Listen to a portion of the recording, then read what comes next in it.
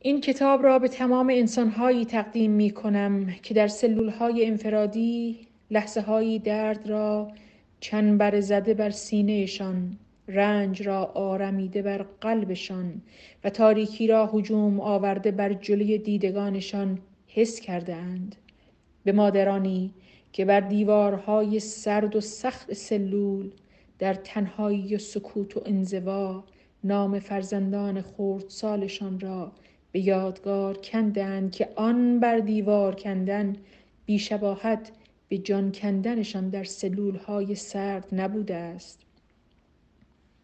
به دختران و پسرانی که به عشق زنده ماندند و پایداری کردند سرود خواندند و گریستند و لحظه بعد بیدرنگ به راه و هدفشان فکر کردند.